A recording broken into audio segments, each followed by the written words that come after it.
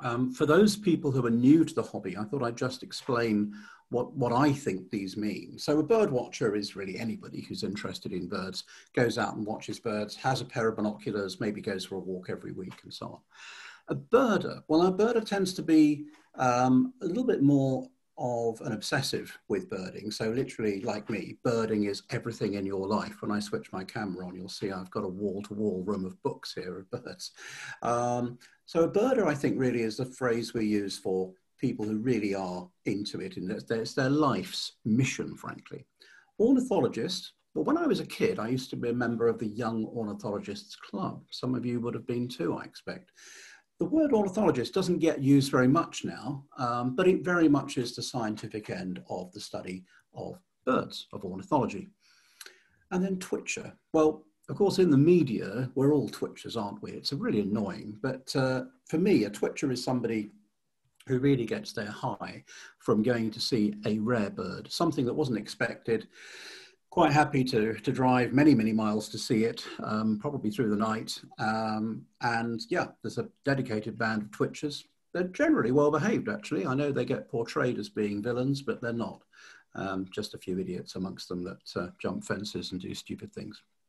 So, how many bird watchers? Well, the RSPB's got 1.2 million members. Now, not all of those are bird watchers of the type that I described at the top of that list. I'd say that um, maybe 10% of those are bird watchers. The others are um, people who like birds, but, but, probably don't know very much about them beyond feeding in the garden. Um, and of the, so if you say 10%, so 120,000 are bird watchers, probably within that, I'd say that um, maybe, maybe 20,000 of those are birders, really, really, really keen. Um, HOS, we have 2,200 members if you take into consideration all the home addresses we've got and joint member, memberships of, of couples and, and families and so on. So that's what we do. Now, how many bird species are there? That's an often, uh, often asked question. So the answer is about 11,000. And that number is increasing all the time because as the understanding of DNA becomes better, we are more able to determine between two species that uh, actually are different but look exactly the same and, and may even live alongside each other. So we are finding species still, even though, of course, some are becoming extinct, and a bit more about that later. In the UK, we have about 220 breeding species, and we've got about another 100 that join us for the winter or pass through on their way to somewhere else. Um, so every year, um, something like 360 species are seen. Um, in Hampshire, the figure is 140 breeding species and about 75 that join us briefly as they pass through on their way to somewhere else. So if you want to see um, birds in Hampshire, 200 in a year is, is certainly achievable. I think the record is something like 230, uh, but that person had to go out pretty much every day of the year and probably missed their wedding as well, expect. Well, the first bird, 150 million years ago, was the Archaeopteryx, which uh, is, you can see here in this fossil record from Germany. This was the very first bird. This is the time when there were dinosaurs on the planet. And indeed, the Archaeopteryx probably looked a bit like this. It's believed it basically developed from being like a, uh, being a reptile wow. in the trees that developed wings because it wanted to jump from one to the other. Um, whoever the lady is just talking, if you wouldn't mind muting yourself, that would be fabulous. Um, thank you. Um, bird diversity. So around the world, we've got uh, a lot of areas where birds are very dense in the, the number of species and also areas where there are very few. So for example, if you look in the top part of Africa, there are hardly any birds because it's the Sahara Desert. And similarly, if you look in the Africa, in, in Australia, the western half of that, again, not many birds. Similarly, up the top of North America and Siberia. But look in South America, look in areas like Brazil, Peru, Ecuador, Colombia, absolutely full of birds, many, many species. And similarly in parts of East Africa and parts of West Africa, and also in parts of Southeast Asia. So, so birds are not distributed equally around the world. It's actually uh, a real sort of feast or famine in terms of what you see in some places. Some groups, like the ducks, geese, and swans, are really widely distributed. They're found absolutely everywhere. In fact, um, you know, in the Arctic, uh, in the Antarctic, or, or near to the Antarctic. Some groups, like hummingbirds, are only found on one side of the world. So hummingbirds are only found in North America and South America. And very similar looking sunbirds are only found in Africa and parts of Asia even though they look a bit like hummingbirds. So they all carve out their own niche and they're found in, in different areas. But some, as I said, like the ducks, are found pretty much right around the world. So when did birds evolve? As I mentioned, Archaeopteryx was with us 150 million years ago. Um, well, depends on who you believe, really. Uh, but four and a half billion years ago, Earth started to become uh, the planet uh, that we know, um, although not in the form that we know it now. Birds around 150 million years ago. We probably turned up in one form or another about a million years ago. Um, and, um, you know, it's amazing because birds have been here 150 times longer than us, and yet everything that affects their lives pretty much comes from what we do as humans. 161 bird species have become extinct since 1500, and already this century, since 2000, we've had eight species that have gone, as far as we know. And currently, one in eight species is currently declining, and some of them are declining at a speed um, that suggests that they will become extinct very soon. So it's a bit of a depressing situation, I'm afraid. If you look at the birds, um, of the 11,000 species, well, um, 8,500 we're not too worried about because they're doing okay, they're not declining. About another thousand are looking near threatened. So they're basically a bit poorly in terms of their status, but they're not actually declining fast. And then the ones in red you can see vulnerable, endangered, critically endangered. They're the ones that are rapidly disappearing. 222 species are critically endangered. In other words, if we don't do something for them, we're going to end up losing them, uh, probably in our lifetimes. And there are 58 species which we call data deficient because actually we hardly ever see them. So we don't really know whether they're okay or not. So, uh, so that's, that's the situation. It's a bit worrying, I must say. So let's have a look at Hampshire. How many we got? Well, in total, 382 species, I think, or plus or minus a couple, because it might have changed since I did this slide, have, um, have basically um, been seen in Hampshire. 110 are here all the time. 48 come for the winter, 28 only come here for the summer, 26 pass through, and then 169 are rarities. So you can see why the twitchers have a good time. Hampshire's a very good county for seeing unusual birds. Some of them are gone already. The black grouse, amazingly, did used to be in Hampshire, probably about, well, about 100 years ago uh, in the New Forest. Um, but Montagu's harrier's gone, wryneck, dipper, whinchat, wheatear, tree sparrow and ruddy duck. No, they've all gone as breeding species. We do see some of them, wheatears and whinchats, of course, um, come through on their migration, but they've gone from Hampshire as breeding species. Um, and it's incredible. Up to the 1920s, there were black grouse in the New Forest. I think they probably were put there. I don't think they got there naturally. I think somebody probably opened a box and let a few out, maybe because they wanted to shoot them. And they were also seen on some of the heaths in the northern parts of Hampshire too.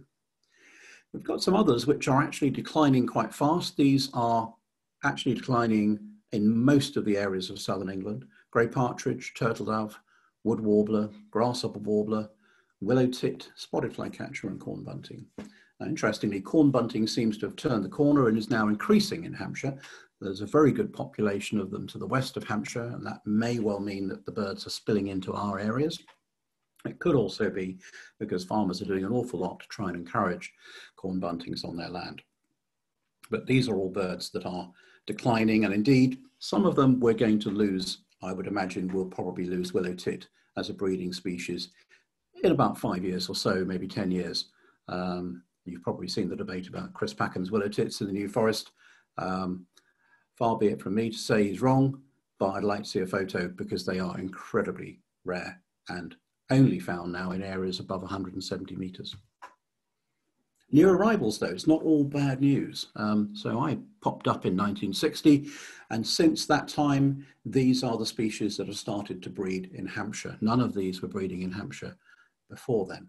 So you can see them there. I mean, little egrets arrived about 20 years or so ago um, and are doing well. Egyptian goose, goodness me, everywhere it seems at the moment in the Avon Valley and in northern Hampshire. Eiders just the one pair. They, they nest every year in Keyhaven. Um, it's incredible, really. Uh, the only nesting pair, I think, in southern England.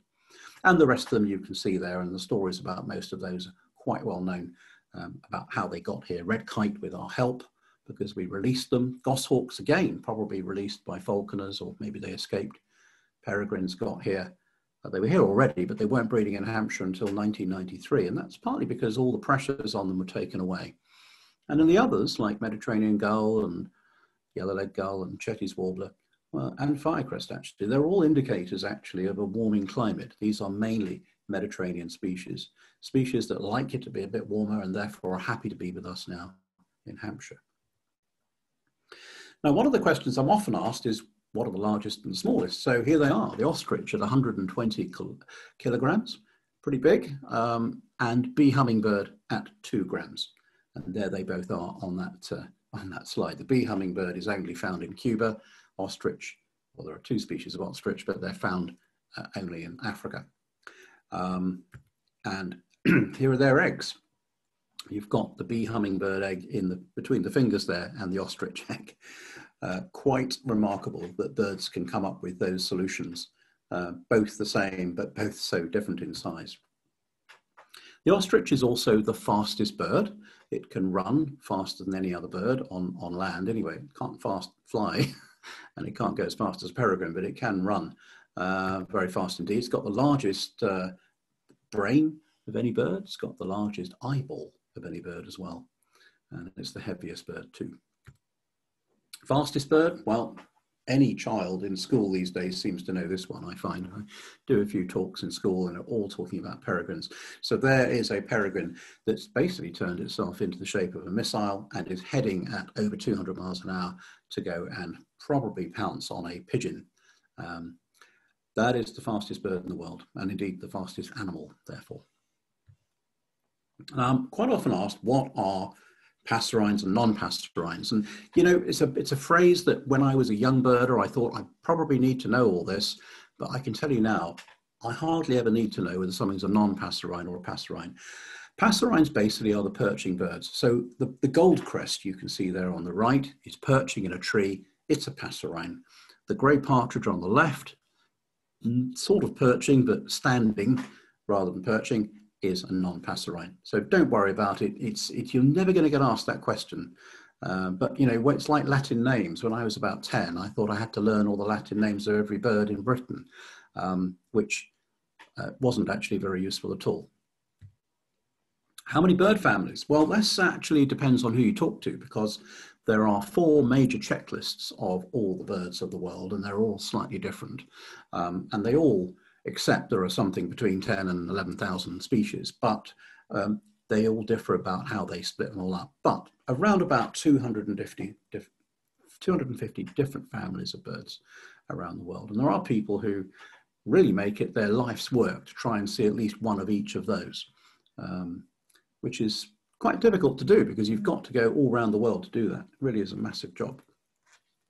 So how good is eyesight? Well, bird's eyesight is good. It has to be good because they've got to be able to find prey. Um, many species of birds have eyesight that's 10 times more accurate than, than ours and, and sharper. For example, a kestrel can actually see um, an insect that's two millimeters long at a range of 20 meters. So that is very, very powerful indeed. And birds of prey, I mean, we all, we all have what's called a fovea at the back of the eye, and humans have one fovea. It's the point where all the things come together in focus. But raptors, like kestrels, they actually have two, which gives them extra ability to see very, very detail. The other amazing thing about birds is that they actually um, use the left and right eye for different things. Uh, I'll come on to that in one second. Kestrels can also see ultraviolet light, and when they're hovering, they can look down on the grass and they can see um, not grass the way we see it. They can actually see um, mouse pee. When, when mice are running through the grass, they're peeing to, to mark their, their trail. And basically, the kestrel can see that because that is, uh, shows up as ultraviolet light. So um, uh, we can't see that, they can, which helps them to, to catch the mice. An amazing skill. Um, and tawny owls, so how well can they see? So with tawny owls, um, they can see very, very well indeed. They can see at night as well. Um, I forget now what the figure was. I think it's something like 100 times more receptive to light at night. But their eyes are able to open during the day as well. So it's really very, very well adapted. But why does a robin cock its head? People often ask that. Is it listening? And people say it is listening, but actually birds use the left and right eye for different things. So the left eye is used by most birds for looking at things in the distance, and the right eye is, is used for looking at things which are much more close. So if a bird is looking at another bird displaying, it'll use its left eye, um, and if it's looking down at a worm or something, it'll use its, use its right eye. And this has been found out really not that long ago. Um, and it's probably why a bird like a song thrush or a robin seems to cock its head on one side. If you next time you see that, see if it's cocking its head to the right hand side like this one, which indicates it's using the right eye and therefore one for close up. Can they detect smell? Yeah, birds sometimes can, uh, but of course many don't need to smell if they're eating seeds and things like that. There's absolutely no need for that. So they have a very poor sense of smell.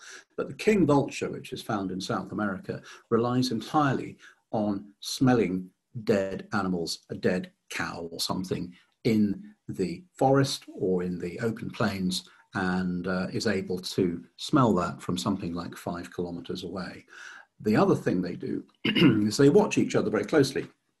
So once one vulture goes down to the dead cow, the other vultures, with their very good eyesight, see the others, see it go down, and they all follow each other, which is why you go from having one bird to having a hundred in no time at all. And uh, do birds have ears? Yes, they do. And here is the ear of an emu. On most birds, the ear is something you can't see, but you can see it very clearly there. And um, it is usually positioned at that location, at the back of the um, the head there. Um, now, one amazing thing about birds is they, they do sing very, very loud. Think of a wren. If you were a wren, the, the volume that you would be producing would be something like 120 decibels, which is like standing next to a rock band and putting your head in the loudspeakers. Um, now, if we did that, the hairs in our ears that allow us to hear would be damaged. And those hairs break down, a bit like corn in a field with a big, big wind going through, pushes all the corn over. And in us, in humans, and in mammals, those, those hairs do not regrow, which is why as we get older, we can't hear as well as we used to. In birds, though, and at least half the birds now that have been studied, actually those hairs do regrow. And thank goodness, because if you're a bird singing loudly, you're probably destroying your hairs in your ears all the time. And so you wouldn't be able to sing and be an effective bird if you couldn't hear. So, um, it's an amazing thing about birds. Again, I don't think that was known until quite recently. Now, are the ears on owls used for hearing? And this is a long-eared owl, beautiful bird. Uh, no, they're not. That is simply used as a, um, an additional way of visual signaling. So the owl can move those ear tufts, it actually can put them up, it can put them back. Uh, I don't think we fully understand how they use them, but we do know that owls in particular use visual stimuli um, rather than calling sometimes. And those are not for hearing. So I'm often asked about breeding strategies. How do birds nest? Why do they have so many different kinds of nests? So top left here, we've got a colony of guillemots, all clambering on a cliff. They're only there during the summer, but they're really close to each other. They each have just one egg. And on the top right, you've got some peregrine eggs. So four eggs just in the middle, only the four eggs. Bottom left, you've got blue tit, where you could have 15 or so, or maybe 10 uh, eggs. And then, of course, you've got on the right-hand side, you've got at the bottom right a cuckoo, which has a completely different strategy. Of course, cuckoo's strategy is to get there when there is an egg or eggs in the nest, take one of the eggs and lay one of its own. The fascinating thing about cuckoos is that they actually are of several types. So some cuckoos only do this to dunnocks because they can, they can produce an egg like a dunnock egg. Some only do it to meadow pipits because they can produce an egg that's like a meadow pipit egg. Some only do it to reed warblers because they can produce an egg like a reed warbler egg. When I was a boy, I assumed that cuckoos were a bit like a coffee machine. You press a button, oh, we want a blue egg, so we'll do a blue egg in this nest and go on to this one that needs a green egg, do a green egg there, and then go on to another one where it needs a brown egg. No, the cuckoo that was born in a dunnock nest will have been laid by a female that was also born in a dunnock nest, and it's carried on through the genes. Female cuckoos will select the species that brought them up. So if you're a dunnock and you're helping a cuckoo to survive, you're not really helping your species very much. Um, cuckoos are having some troubles at the moment uh, for various reasons. We can probably talk about that uh, a bit later. The other interesting thing about cuckoos is that of the world's cuckoos, of which there are around 170, I think, some of them actually do this, where they just simply lay eggs in other birds' nests, maybe 10 or 15 a year. Some of them don't do any of that. They actually just make their own nest and rear young like other birds do. And some of them do both. And the ones that do both actually, first of all, go around, lay a whole bunch of eggs in other birds' nests. And then when they've done that, they then go and make their own nest. So they're using both strategies. Incredible. So the guillemot, yes, safety in numbers. Um, basically, they have to get on with each other very well. They're very careful about how they how they get on. Um, in fact, they quite often preen each other. Um, so guillemots in adjoining nests will, will preen each other in, in order to really build up the bond between neighbors so that they don't fall out. So um, it's an interesting strategy. It's called allopreening um, and male guillemots can do allopreening on other male guillemots or indeed other females. Um, so, and it doesn't seem to cause problems. But I wouldn't try it with your neighbor because uh, it might cause problem in the human world. Yeah, the blue tit, they lay one egg per day and um, they, uh, they wait until they've laid the whole lot. And what they do then is the female then incubates them and she wants them all to hatch on the same day. And because she's probably going to lay 15, um, if she if she started from day one by incubating them, they'd all hatch over a 15 day period. It'd be absolute chaos. So she waits until she's laid them all, which is why you might find some eggs, touch them and think, oh, they're very cold. That's simply because she hasn't started incubating them yet. The peregrine, though, lays an, an egg every two days, and um, they don't. They they they actually uh, do something slightly different, which is that after the second or well, after probably after the third egg, that's when they start incubating. Now, what mean, that means is that the fourth egg will hatch two days later than all the others. And that's quite useful because if food is a bit short around the peregrine nest, it means that chick number four can be used as food, which is quite rough. I mean, if you're from a big family, you've probably experienced being bullied by your older brothers and sisters, but um, it really does happen in the world of peregrines, and, and it's a good way of providing some food. Sometimes that last egg gets pushed to one side, and very often it's the one that's the palest in the clutch, perhaps that one at the top left.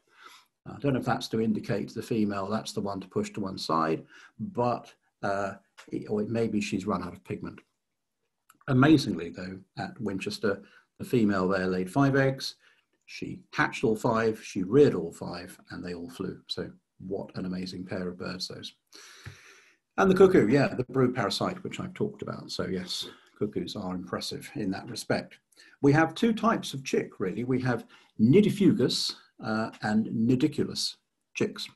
Again, these are two words I thought I'd use when I was 10 years old, learnt them, and this is about the second time I've had to use them since. But basically, a lapwing is the nidifugous one, where basically it's hatched, and on day one, it's walking around and looking after itself you know, lapwing chicks feed themselves on their very first day, whereas black cat, blackbirds, and indeed, frankly, most birds, sit in the nest looking useless for a couple of weeks at least um, and demand to be fed. Quite different strategies. So migration, a lot of birds migrate around the world. And uh, if we um, think about it, why on earth do they migrate. So it takes a huge amount of effort from them, amazing amount of energy, lots of them die in the process. Well, basically it's to find food um, because if you're something that eats insects, for example, a, uh, a small bird, you, um, you, you, you, need to think about the availability of insects. And there are lots of birds in Britain already that eat insects. So if you're a chiffchaff or a willow warbler or something, you'll probably think it's better to go down to Africa or maybe Southern Europe to get insects rather than to stay here. It's not so much about avoiding the cold. They can live in the cold we have here. It's just they do need the food. Yep, a lot of birds though do migrate to, to avoid extreme cold. All the birds that come here from Scandinavia come here because it is very cold there. There'll be a lot of snow. Uh, you go to somewhere like uh, Finland in winter and there's just snow everywhere. It's very hard to find food. And basically it's to maximize the chance of survival. But you know, not all individuals within a population migrate. Some actually do stay behind. And we have some interesting things um, not long enough to talk about them tonight, but things like blackcaps, which spend the winter with us, and chiffchaffs that spend the winter with us. You know, you'd think of a blackcap as a summer migrant. Interestingly, the blackcaps actually are uh, the ones we have in winter are actually not our summering ones. They do come from Europe. They come from places like Germany. And our birds head down to Spain, so they all change places. Now, I don't know if this is going to work, but this is a, a slide with a, um, yeah, this should work. Let's see if we can make it work. Watch the screen, see if it happens. Yeah, so here is migration in action. And what we're seeing here, each of these dots is an individual bird that's been um, given a little tracker in North America where it's breeding. And uh, they put the tracker on to see where the bird moved to. And you can see that the date is running through. We're currently in September and they're heading down. It's autumn migration and they're heading down to South America. Um, so you can see how the population goes. But look, we're in December and not all of those birds travel all the way to South America, even though they all, pretty much all of them nested in North America. Some of them actually um, stay in the middle. So so as birds migrate, they don't all go to the same place because if they did, my goodness, it would be crazy. It would be, be hard work. There it goes again, just once more. Uh, by the way, it's not all the same species here on this, so there are a variety of different warblers and things. And there they all go again. Now that's just an example of how we can use technology to track what birds do. And we're doing quite a lot of that in HOS now. We're funding a number of people who are doing this work on, on things like woodlarks, curlews, and uh, and other species such as wood warblers. Right, I'm hoping I can get out of this slide now. I can. Here are the main migration routes. So right the way down through America, down into South America, from Europe down into Africa, um, and from Asia, or the northern parts of Siberia and whatever, down into Southern Asia and to Southeast Asia. So basically, the migration routes are up and down. They are not basically from left to right, although we do get birds, for example, like yellow-browed warblers that nest in, you know, the eastern parts of Russia and they end up here. And that is actually as a result of something that's called reverse migration. And it's happening with young birds, birds that are born this year. They, just like a plane that's got the um, compass in the wrong direction, they fly uh, to us rather than flying to Asia. So that's how we get some of these weird, weird discoveries. Um, they probably don't survive. They're young birds. Uh, they probably die, which is why it's young birds that do it, because adults um, don't do it, because if they did do it, they'd have probably died in the process, if you know what I mean. Right, how do they navigate? Now, this is an amazing one. Um, birds basically have four sources of information for navigation. So the first thing is they can see the position of the sun, and that is something they can use to help them to understand which direction they're going in. The sun is not always an option for them, and a lot of them migrate actually at night, the smaller birds in particular, and uh, they spend their day feeding up and nighttime migrating. So they use the position of the stars. We don't know which stars they know, but we do know that if you put them in a planetarium and you create a fake layout of stars, they will go in the direction that the stars tell them they should go in. And if you reverse those around, they'll go the other way. We also know that they use magnetic fields. Whether they can all do that or just some of them is not clear yet, but they do have the ability to detect magnetic fields. And you can test that also by putting a false magnetic field around some birds in a laboratory and then they will hop in the southerly direction uh, when the magnetic field is not put on, but once it's put on to reverse that, they start hopping north. And we now know also that some birds, seabirds, can actually smell their way around the world. How accurate that is, we don't know, but we do know that they can detect different kinds of smells within the sea. So it just goes to show that, you know, what we don't know about birds probably still exceeds what we do know already. Bird ringing, some of you may be bird ringers.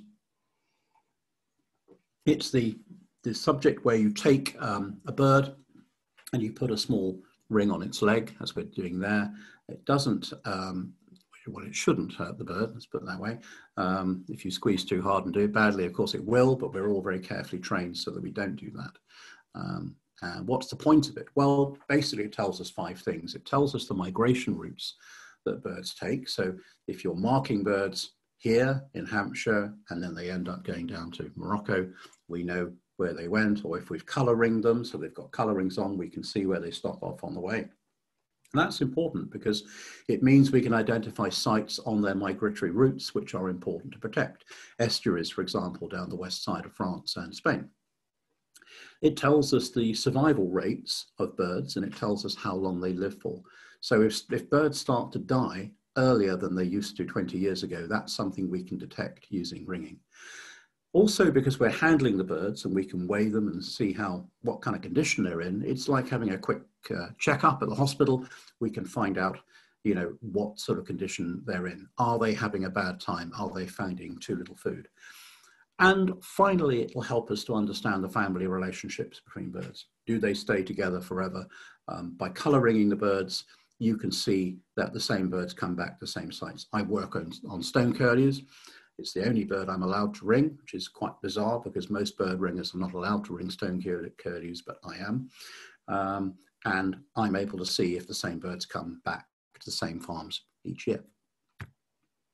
Now, within a species, the migration can differ. Now, what we've got here is the yellow wagtail, which is a very widespread species. Um, indeed, there may be uh, several species involved there. We, we definitely know that the yellow wagtail actually really is two main forms uh, one in the west, one in the east, but I've just put them all together here for the point of this. And you can see that um, they head down, they, they nest in the areas that are yellow and they head down and spend the winter in the areas that are blue. But the fascinating thing is that it doesn't just kind of move down like a piece of tracing paper. The yellow wagtails that nest at the very top up in Norway actually migrate to the very bottom. They are the ones that go the furthest in order to get to Africa. The ones that nest in Britain and Spain, they don't go as far. They probably go to the top of that blue patch. And you might think, well, well why would these birds from Norway go so far? Well, the reason is they can, because in Norway, it's, it's no good getting, getting back in March like the ones do with us. Uh, they have to get back in May because in March it's still covered in snow, and indeed in May it's very often covered in snow too. So they arrive back in their breeding grounds really late. They only have one brood, and they can afford to take a longer journey than everybody else. So by doing that, they enable the birds that can actually get two broods in to actually have their wintering zone a bit nearer to home so they can get back in good time. It's amazing discoveries we're making. And of course, we find all that out through ringing. And we're doing quite a bit of satellite tracking now. You may remember that Hoss funded a cuckoo uh, known as Selborne. And cuckoo, uh, Selborne was an amazing cuckoo. He was a record breaker. He was the first one to arrive back in Britain every year out of all the 30 or so cuckoos that were tracked. Um, he did it, I think, at least three or four times. Uh, but by doing satellite tracking, we can see where they go. And, and here are the cuckoos. Um, I put this slide together for a talk in February. And at that time, you can see the cuckoos were down in West Africa, having all traveled down from Britain. And um, right now, they are um, uh, well on their way. They're in Africa already and heading back down across the Sahara. Incidentally, they cross the Sahara in one hop, they don't stop. So why do we use colour rings? Here's one of my stone curlews. Now, no stone curlews were hurt during the making of this talk, uh, but here is a baby stone curlew um, lying on some very soft cloth um, upside down, face down, and I'm actually just putting the, the colour rings on the legs. So it means I can identify that bird as an individual in the future. Um, why do we use them? Well, because knowing about individuals helps us to know that uh, how long they've lived for. You know, I'm never going to have to go and retrap that stone curlew in order to know that he or she is still alive. So it enables us to study birds without disturbing them. I did get asked, how do birds recognize each other? And I actually have to say, don't know. Um, on the left, we've got, um, goodness me, I have to think about this. Right, on the left, we've got a willow tit, and on the right, we've got a marsh tit. Um, and these two birds are so similar um, that uh, it's very, very hard to tell them apart. And, uh, you know, uh, how do they do it? They mainly do it during using song. It's probably the quick answer to that one. Somebody asked me about climate change. Um, are birds adapting to climate change? And the answer is they are, but they're, they're adapting really quite slowly. Um, here's an example of the distribution of the willow tit um, up until, well, probably about 20 years ago. And if I just move it on, here is the distribution of willow tit that we predict that's going to be the case in the next um, 70 years or so. So in other words, the whole population is going to move north. But just go back, that's what it was, and that's what it's going to be. So basically, as climate changes, things get warmer, birds that like to be in slightly cooler places head further north. And, you know, we do find that the willow tits in Hampshire are all up in the, the higher copses. Um, we're seeing changes in arrival dates of many birds. So for example, on the left, this is uh, the, the codes along the top are the species. So SM is sand martin. Um, the right-hand end, uh, CK is cuckoo and TD is turtle dove. Now, the bigger the, the bar, the earlier that bird now arrives compared to what it did used to arrive uh, back in the 1960s. So what you can see from that is that sand martins now arrive roughly 23 days earlier than they used to when I was a boy. Um, if you go to the other end, turtle dove and cuckoo are arriving pretty much the same time. Now, in, in case of cuckoo, it may well just be that cuckoos winter in places where they don't get any indication actually that the climate in the UK and Europe is any warmer than it used to be. So there's nothing there to stimulate them to head on further north, whereas sand martins winter further north, and therefore they may well pick up on this and realize that actually it's worth flying further, further north earlier. The problems it creates for birds like cuckoos is that when they arrived in the 1960s on, let's say, the 10th of April, um, they would find lots of nests with eggs in, and they could then lay their eggs and do what they do. Well, now, because many birds in Britain nest earlier than they used to, cuckoos are now finding they're arriving on pretty much the same date as always, just a few days earlier, and Instead of a nest of eggs, they're finding nests of chicks, which means that quite a lot of cuckoos have to really hunt around for nests with eggs. And, and in many cases, they have to wait for a second brood for those small birds so they can then take the egg and lay their egg the next time.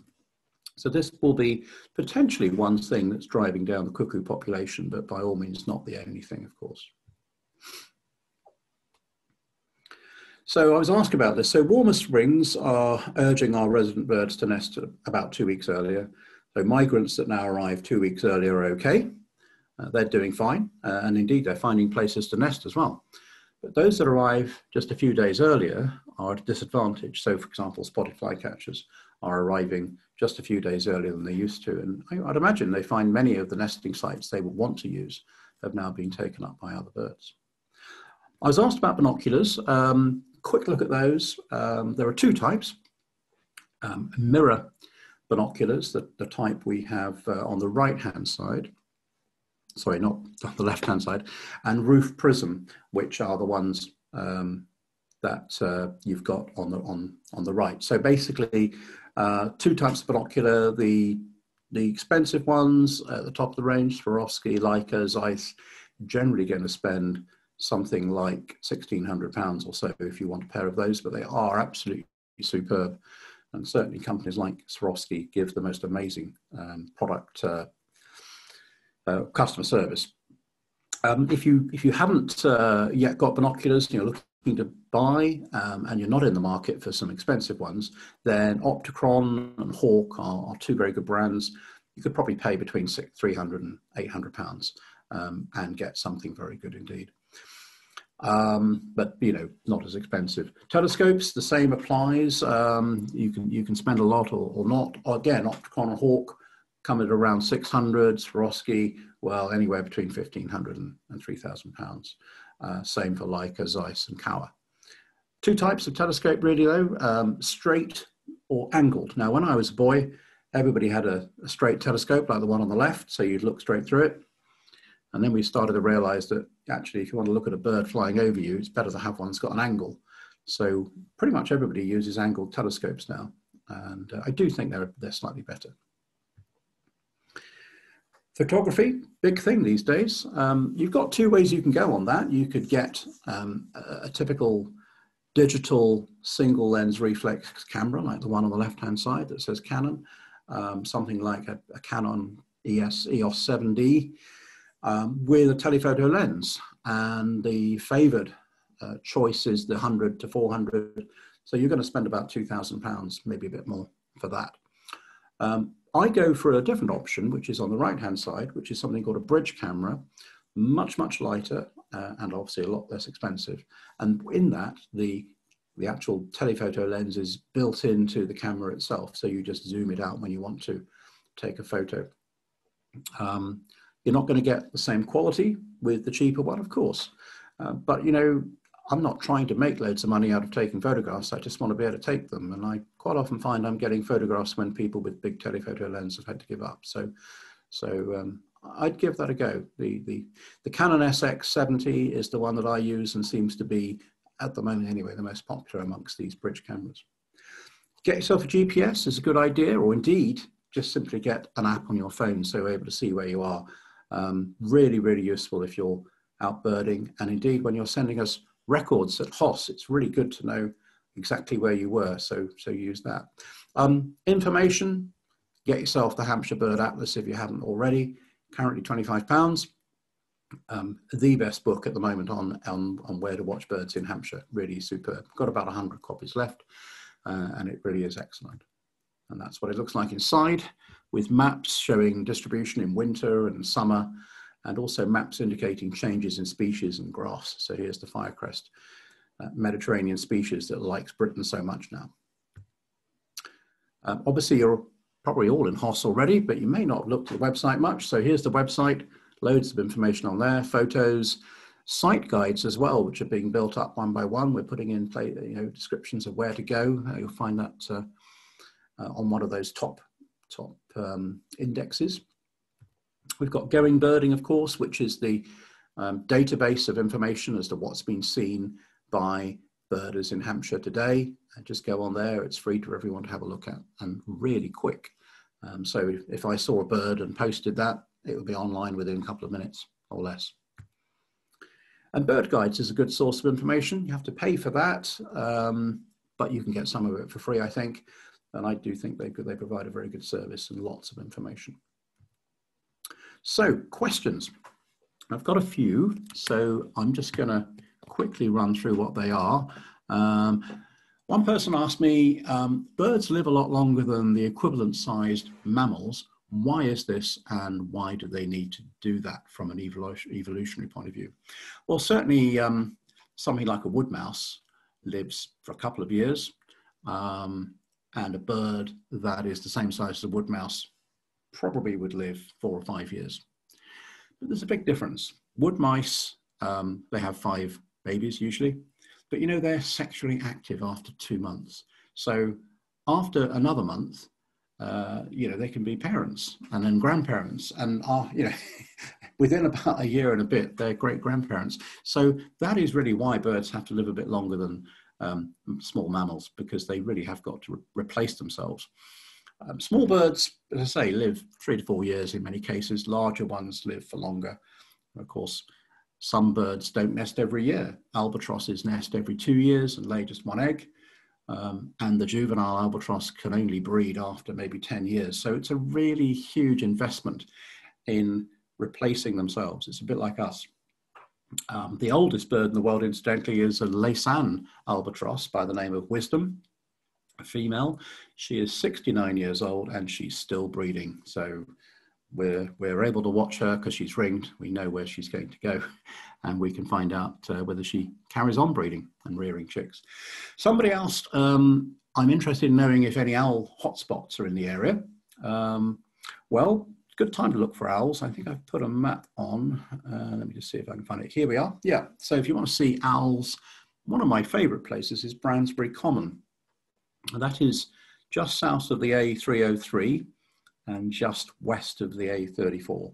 So uh, not that far from Andover and, and so on in the, in the Test Valley. I'll leave the slide on for a bit. You can see there. I've put um, some arrows and a little point. That's where you stand. You don't go wandering over Bransbury Common. You stand on a little hummock there. Um, towards the end of the day, the last two hours of daylight's the best, and you are likely to get barn owls. You could get short-eared owls, depending on if there are any around this year. Occasionally, we've had long-eared owl there as well. There are definitely tawny owls in the area, definitely little owls. So um, Bransbury Common's a good place. Where I park, incidentally, is where I've put the other circle, where the junction of the road is just near the number 42 there. Um, so that was about owls. Somebody asked me what is the latest count on nightingales in Hampshire. Well, you probably got your Hampshire Bird Report in the last day or so. Um, unfortunately, the numbers are really low now. We just had five areas in 2019 with a total of 16 territorial birds. So I'm afraid nightingale is one of those birds that we're probably going to lose, but it's not just us, it's across the whole of England. And nobody really fully understands why, because, you know, nightingales are very much a Mediterranean species, and here we are with a warming climate. So what is going on? Somebody asked, how do feathers grow? Well, feathers are made up of protein, uh, something called beta keratin, um, and if you actually shave a bird, like a, a chicken, uh, you can see pimples on the body, and that's where the feathers grow through. Um, and they come through with a little protective coating, like a, a, sheath, a bit like when you plant baby trees, you put a tree protector around it, a plastic um, cone. So uh, this uh, sheath eventually um, falls apart, it de degrades, and, and therefore the actual feather that's growing underneath it will, will come out and be pushed out uh, into, the, into the world. Um, from the, the, sort of central shaft of the, um, of the feather, the main feather, there are branches going off to the right and left. They're called barbs. Um, and you've also got on those something called barbules. And all these things lock together so that the feather works. Birds actually molt at least once, sometimes twice a year. I think there are some that even do it three times. Um, each species, interestingly, is different. Some will uh, actually molt before their migration, some will molt after their migration. Birds like red kites, when the female is sitting on, on incubating the eggs and then looking after chicks, she's at the nest for about two months without really leaving very much. So she, she actually molts during that time. But birds only lose a few feathers at a time, really, because otherwise they, they wouldn't be able to keep warm or fly. Quite a lot of the ducks, though, lose an, an awful lot of their flight feathers in one go, which is why you don't see them fly very much in the autumn. Um, and indeed, if a feather does fall out, it actually uh, doesn't grow back until the next molt. Um, right, I've talked about climate change a fair bit, but there was a question saying, how is climate change, weather patterns and prevailing winds impacting on the movement of birds? Well, apart from what I talked about with, with climate change changing the way they're migrating. Um, weather is changing, there's no doubt about it. Many, many more storms now. There was a huge storm um, over sort of northern Spain and southern France this spring, which really held up and indeed killed a lot of swifts and house martins and swallows. So yeah, more stormy weather is going to affect our birds. We know that wind directions are changing and wind speed is changing with climate change. Uh, wind can slow down birds, and of course, storms can push them off direction. So, you know, things like grey phalaropes turning up at uh, Pennington Marshes, they will have got there probably because they got blown off course. Question was, how important is garden feeding and what are the key times of the year? Well, it's important to feed birds in the garden in cold weather, especially giving them water as well, because they can't find water when it's below freezing. You don't need to feed them at other times of the year. Um, and indeed, there is an argument that feeding birds all the time actually keeps unfit birds alive longer than they really should be. So what they do is they end up taking up space uh, on the planet where the, you're getting in the way of the fit birds. So there is an argument that actually we should just let nature take its place, in its course. Um, when, when identifying a bird, what are the key traits to look for? Um, so there is a phrase called GIS, which is general impression of size and shape. This is a, a wartime phrase looking at aircraft. How will you describe an aircraft? So basically, if you were going to tell me about a bird you'd identified, I'd say, well, what is size? Uh, particularly, can you compare it with something else you saw it near to? What is the shape, you know, the neck, legs, beak? What are the colors and where are those colors? What kind of movement was it doing? Was it, was it running around? Was it hopping? Um, did it call? You know, and really the great thing these days is get a photo. Get a photo on your phone if you can. You don't actually have to worry um, too much about quality because we can still see what it is. Um, very quickly getting on to the last couple of questions. What percentage of birds mate for life? Um, well, about 90% of birds are monogamous. In other words, that they just have one partner. This is of all the world's birds, 11,000. Um, but actually, most of those do change their partners. And indeed, some birds change their partners between broods. So they might have two broods in a year, and they might, a female might have two different males uh, for each of those broods. Um, so they, they, they swap around a bit. And that's particularly the case in smaller birds. It's not so much in large birds. Large birds generally mate for life, birds like swans, birds of prey, cranes, and things like that. There are some fascinating things, though, in birds. I mean, corn buntings, the male can have up to three different females on three separate nests, which he will then visit and go and keep them all happy with food and, and so on. Um, so when you see a corn bunting, it could well be that it's got three nests. Maybe that's why they're doing so well at the moment. Um, and then you've got cases like the Dunnock, where um, if you're a female and you're listening to me telling you that and about the corn bunting and thinking, well, that's not very good, really, is it? Well, Dunnock, the, the, the female actually very often has a spare male that is in the garden. The main male doesn't know about the spare male, but the female does. And the female mates with the main male. He is the father of her chicks. The spare male is the one she mates with as well, uh, but she ejects his sperm. So he actually never becomes the father of any of her chicks, but he thinks he is. So he actually makes a lot of effort to actually feed her chicks. So it's really quite a good strategy that um, she's got two men running around. She is being faithful to one of them, sort of. Um, but uh, yeah, uh, she she does have a lot of help from the second male as well. Oh yeah, I've got a question here about, sorry, there are two more. Um, production of insects um, they're making a difference to our birds, are they? Yeah. So a 77% decline in the number of insects recorded in Germany, for example, between 1989 and 2016. Now, this was done on 63 nature reserves in Germany. And given that nature reserves are probably going to have better numbers of insects than anywhere else, the fact that they declined by 77% is quite a concern. And it's probably very similar here. So, yeah, birds need three things they need somewhere to nest, they need somewhere to get food for their, their young, which is insects, and they need uh, food in the winter, which is usually seed. So yeah, insects are a big part of that, and that is indeed driving down some populations of birds.